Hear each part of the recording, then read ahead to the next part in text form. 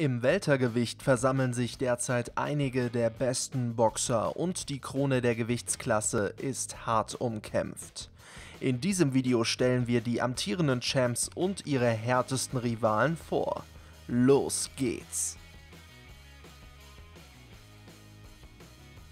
Errol Spence Jr. kann nicht nur eine blütenweiße Statistik mit 26 Siegen in 26 Fights vorweisen, sondern besitzt auch noch eine vernichtende KO-Quote mit 21 vorzeitig beendeten Kämpfen.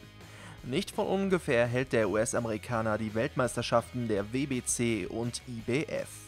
Spence Jr. erlebte eine Karriere auf der Überholspur, bis ihn im Oktober 2019 ein schwerer Autounfall ausbremste.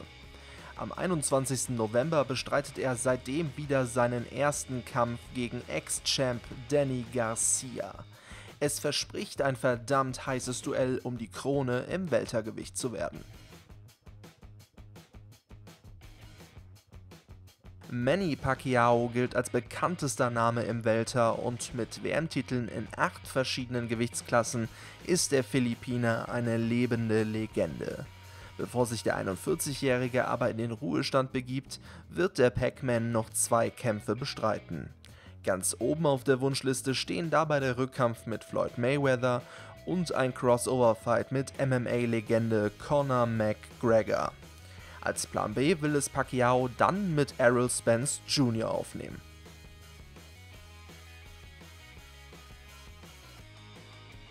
Der amtierende WBO-Champ Terence Crawford schielt ebenfalls auf ein Duell mit dem heiß begehrten Spence Jr.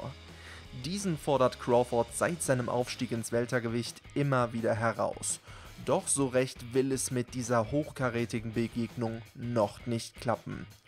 Dabei weist er ebenfalls eine glänzende Statistik mit 36 Siegen in 36 Fights auf.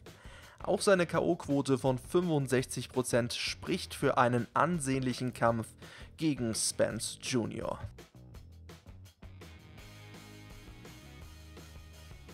Hinter diesen amtierenden Weltmeistern lauern allerdings drei Ex-Champs auf ihre Chance, sich zurück ins große Rampenlicht zu boxen. Danny Garcia könnte diese Chance schon bald wahrnehmen, wenn er am 21. November Errol Spence Jr. bezwingen würde. Keith Thurman will nach einigen schweren Verletzungen und seiner einzigen Profiniederlage gegen Manny Pacquiao wieder voll angreifen.